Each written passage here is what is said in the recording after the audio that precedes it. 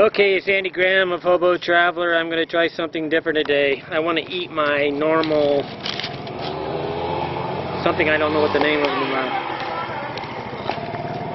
I don't always I don't like to go to restaurants. My notes. Um,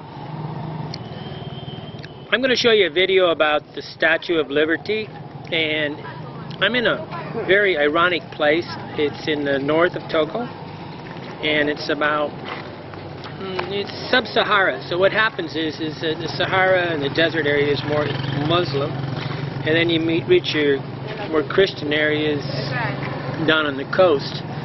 So I'm about half the way up there, so it's about 80% uh, Muslim.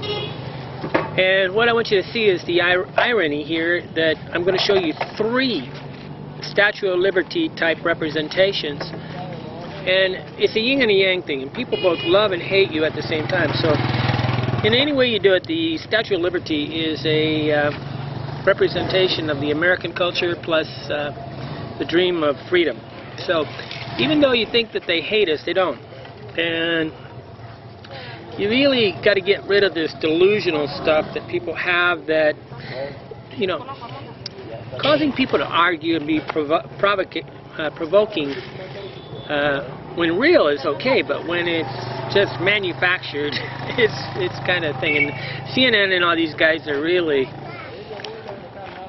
uh, they really just cause an argument between people. They actually cause wars in a way. But here I'm going to show you in a in an 80% Muslim area. Three right now you can see three different showings of the Statue of Liberty in Dapaong, Togo, West Africa. Hello, it's Andy Graham of Hobo Traveler. I'm in Dapaong, Togo, West Africa, and uh, one of the typical things I've taken pictures of all over West Africa is, or all over the world, is statues of liberty. Uh, we have a Statue of Liberty here. It's at the bar one way, Place de Loisirs, and it's on one of the main strips coming into the city. But I've taken pictures of these all around the planet. And one of these days I'll put them all together in one spot and show you just how much they love America. The whole world loves America. Don't listen to all that crap you hear about them hating us. This is the second Statue of Liberty thing I found in uh, Dapaong, Togo, West Africa in the north. It's a heavy-duty Islamic area, about 80%. Uh, this is a bar, my, I like the Hope Bar. And just when you think they don't love America.